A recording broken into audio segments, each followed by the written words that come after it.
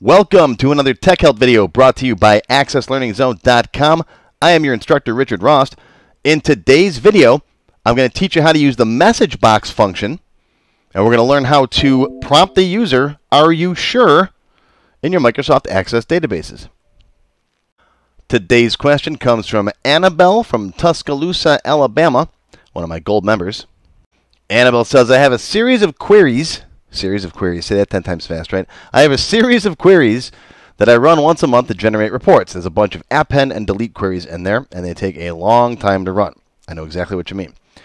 I've accidentally clicked on the button to start this procedure a few times. Short of killing access, and I hope you mean killing the process, not actually like stabbing access. But anyways, is there any way to have it prompt me, are you sure, before beginning this process? Yeah, of course. You can use the message box prompt to ask the user, "Are you sure?" and have them click yes or no. I mean, there's other things you could do too. You can make the button small and move it out of the way. Make a separate form for it. Don't put it where you know. Don't put it on the same menu where your other buttons are. But let me show you how to make an "Are you sure?" prompt with a message box. Now, if you've never done any Access VBA programming, don't panic. This is pretty easy to do. Go watch my intro to Access VBA. It's a free video. It's on my website. It's on my YouTube channel. It gives you all the basics of how to get in there and start programming in VBA. It's, it's not too it's not too long. It's not hard to do. All right, but go watch that first if you've never done any programming. Now, Anabel, I know that you have done some programming because you've got a bunch of my developer classes. So, we're going to teach all the kind people how to use the message box. Now you can use message box just to pop a message up on the screen. All right, I'm going to go into design mode here. All right, and I'm going to grab a command button right there and drop it here. I'm going to cancel the wizard. All right, I'm just going to put in here, this is my message box. All right. Now, right click, build event. That's going to open up the code builder. If you get a window asking you if you want the code builder or a couple of different kind of builders, pick the code builder. And if you watch my intro to VB class, you'd know that. All right, so right in here, I'm in Command 14, click. Yeah, normally you'd give the button a nice name, like Customer Contact Button, but this is just for a sample. Okay, so I'm going to put in here message box, MSGBOX, space, and then a prompt, right? Like hello world, like that. That's it. Something inside of quotes, right? Hello world. Save that. Come back out here. Let's close the main menu and reopen it. All right, I'm going to click on the message box. Ready? Here we go. Bink. There it is. Hello world. Okay, that's a message box. Now, the default message box only gives you an OK button. All right, so I'm going to click OK, and that's it. That's like giving someone a message like, hey, no, notice, you know, no, this is something's going on here. All right, or you can pop up the current time or whatever you want to do. Now, if you want to get a response, okay, then message box can also be a function. In other words, it can return a value. All right, so let's do this. I'm going to say if message box and then open parenthesis this time. All right, because it's a function, so you got to have it inside parentheses. Okay. Um, would you like to continue? Okay, now, comma. It says buttons. There's a whole bunch of different buttons you can put in here. Now I cover most of these in my full classes, but the one we're looking for is VB yes no right there. There's VB yes no and VB yes no cancel. We're going to go with VB yes no. Okay? That's going to give me yes and no buttons. All right? Comma. Title means you could change the title across the top of the message box so it doesn't say Microsoft Access. You could put something in here like um, you know, uh, warning or something like that. Then there's help file and context. Don't worry about any of that stuff. Those are optional. Close it up. All right, now that message box is going to return a value.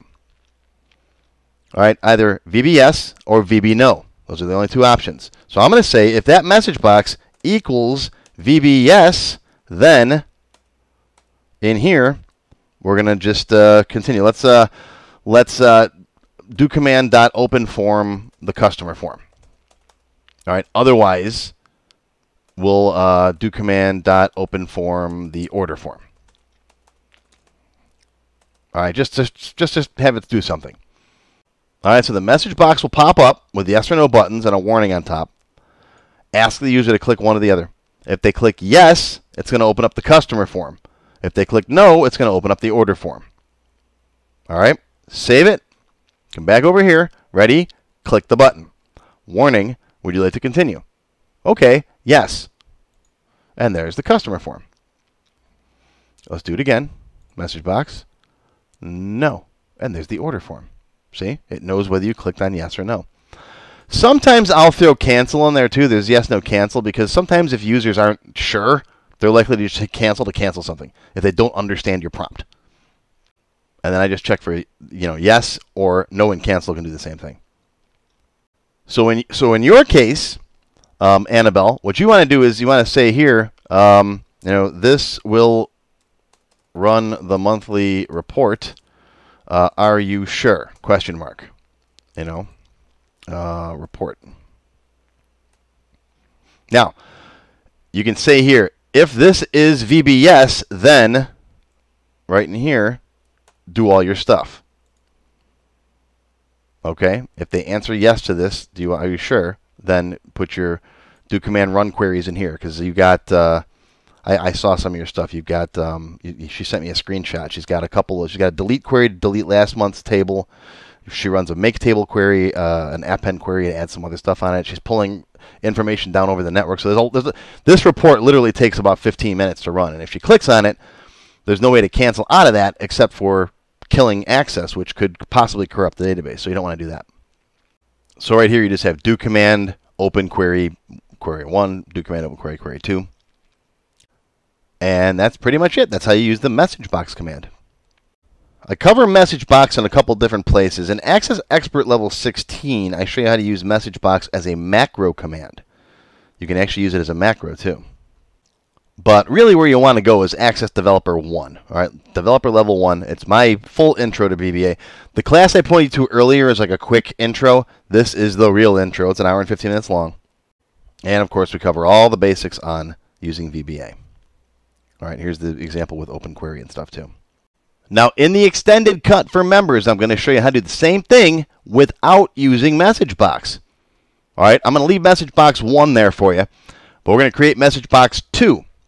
And when you click on that, it'll change the caption of the box. So it'll say, Are you sure? right on the button, and change it to red, and it'll beep. And we'll make a cancel button visible. So now the user can either click on that button a second time or click on the cancel button. And when it's done running, it'll revert back to looking like message box 2. That is all covered in the extended cut for members.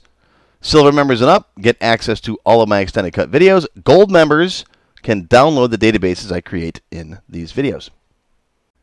How do you become a member? Click the join button below the video. After you click the join button, you'll see a list of all the different types of membership levels that are available. Silver members and up will get access to all of the extended cut tech help videos, live video and chat sessions, and more. Gold members get access to a download folder containing all the sample databases that I build in my tech help videos, plus my code vault where I keep tons of different functions that I use. Platinum members get all the previous perks plus access to my full beginner courses and some of my expert courses. These are the full length courses found on my website and not just for access. I also teach Word, Excel, Visual Basic, ASP, and lots more. But don't worry, these free tech help videos are going to keep coming. As long as you keep watching them, I'll keep making more. If you like this video, please give me a thumbs up and feel free to post any comments that you have. I do read them all. Make sure you subscribe to my channel, which is completely free, and click the bell icon and select all to receive notifications when new videos are posted. Click on the Show More link below the video to find additional resources and links. You'll see a list of other videos, additional information related to the current topic, free lessons, and lots more. YouTube no longer sends out email notifications when new videos are posted, so if you'd like to get an email every time I post a new video, click on the link to join my mailing list. Now, if you have not yet tried my free Access Level 1 course, check it out now. It covers all the basics of building databases with Access.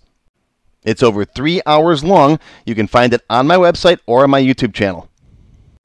And if you like Level 1, Level 2 is just $1. And it's also free for all members of my YouTube channel at any level. Want to have your question answered in a video just like this one? Visit my Tech Help page and you can send me your question there. Click here to watch my free Access Beginner Level 1 course, more of my tech help videos, or to subscribe to my channel. Thanks for watching this video from AccessLearningZone.com.